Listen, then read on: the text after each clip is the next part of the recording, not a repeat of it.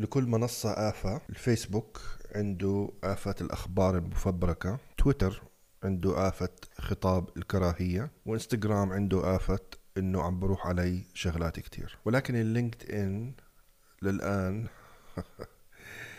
موجود وبشكل عملي.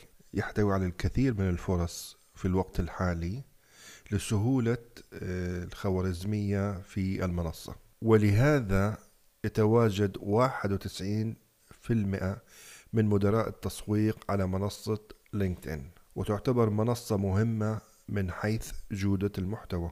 بعض النصائح على منصة لينكدإن حسب التقارير نشر الملفات المقروءة PDF من أفضل أنواع المنشورات لأنه عندما يقوم الزائر بتصفح الملف الإلكتروني يتم حسب كل نقرة وهذا يعزز نسبة التفاعل على المنشور. وبنفس الطريقة عندما تنشر منشور طويل يقوم الزائر بالنقر على عبارة لقراءة المزيد اضغط هنا فيتم حسب النقرات الإضافية تفاعل عالي من نفس الشخص. ركز على المحتوى القيم في مجال عملك. شارك معلومات قيمة. هناك الكثير من التفاصيل في موضوع الصورة لحسابك على منصة لينكدين. ولمساعدتك هناك أداة لتقييم صورتك من قبل أشخاص حقيقيين. اسم هذه الأداة Photofeeler. ويتم تقييم الصورة من ثلاث معايير الكفاءة المحبة والتأثير. وهناك أداة لتقييم حسابك على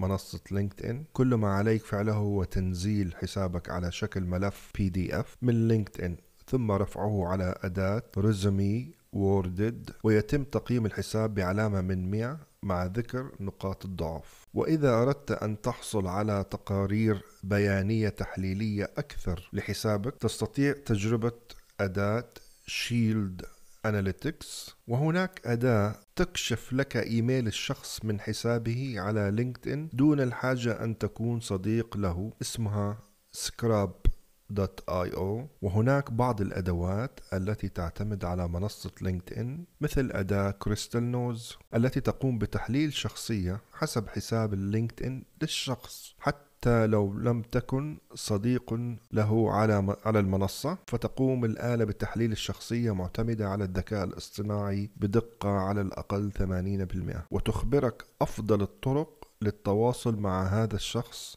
وأي الكلمات عليك استخدامها لزيادة نسبة الإقناع من طرفه. خوارزمية لينكدإن تقوم ببعث المنشور لبعض الأشخاص التي تربطك بهم علاقة مباشرة على المنصة. ثم إذا قاموا بالتفاعل على منشورك ستقوم الخوارزمية بنشره لمتابعين هذول الأشخاص من الدرجة الثانية والذين يعتبرون أصدقاء أصدقائك على مدى تسع ساعات القادمة ويتم تقييم التفاعل بهذه الطريقة. نقطة واحدة للإعجاب.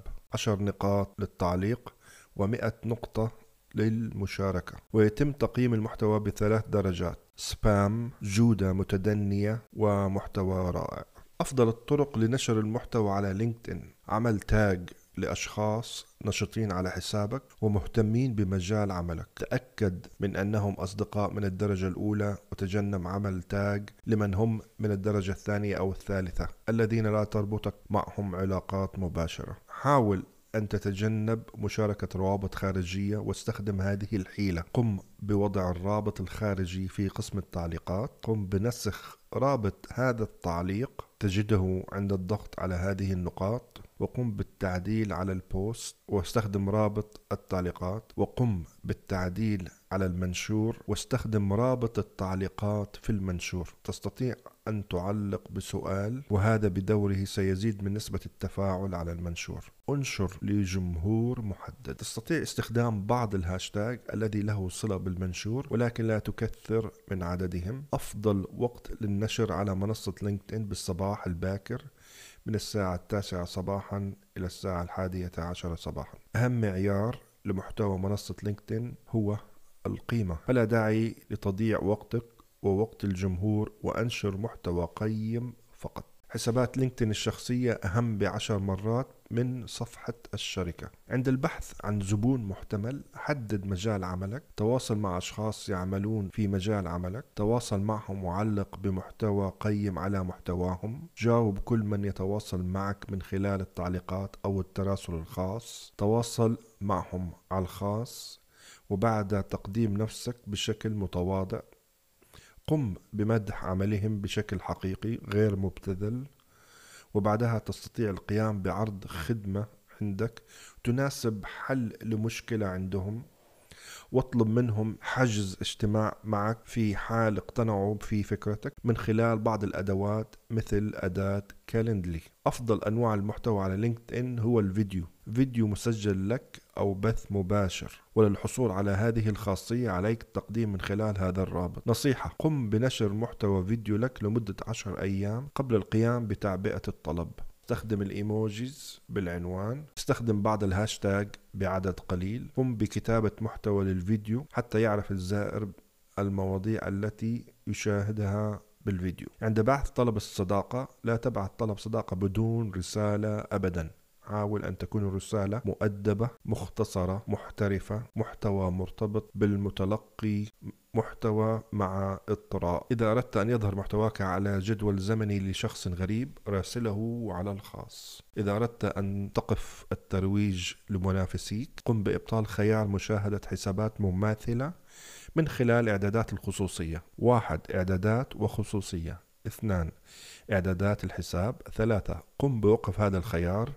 مشاهدي هذا الحساب أيضا شاهدوا هذه الحسابات. لتبديل زر الصداقة بالمتابعة تستطيع تغيير ذلك وهو وضع زر المتابعة. إعدادات رؤية متابعين.